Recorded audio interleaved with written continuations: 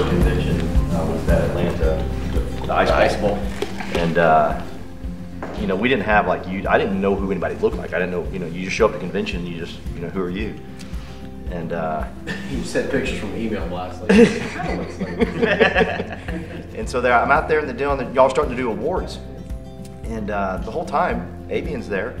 The you know maybe I shouldn't have prejudged him being the IT guy, but. Uh, he's at the back doing all the IT stuff, you know. Looks like he's an IT guy. And so uh, he's doing his IT stuff and everything. All of a sudden, Andy calls him up to the stage for a bonus check or an award or the top recruiter or the top guy of the year. And he just jumps up from his little IT booth and runs up there. I'm like, why the hell is the IT guy going up to the?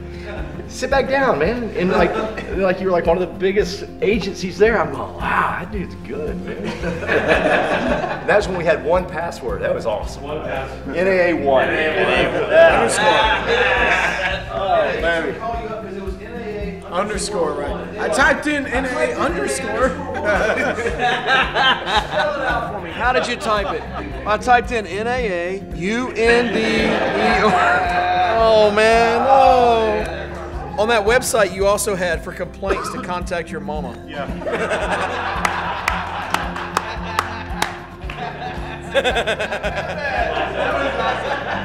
what was hilarious is that um, NAA was Andy's basement, right? Right. And so when I was developing our first website, I was like, damn, we've got to show a building. so I started surfing the net. I found this building in Indianapolis. It's this big ass building. And you know what? I'm just going to put a building on the website.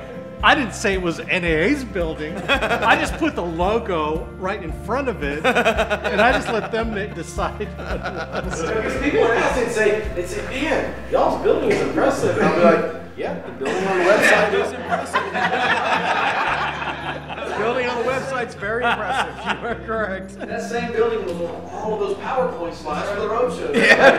yeah, that's right. Talk about fake it till you make it, right?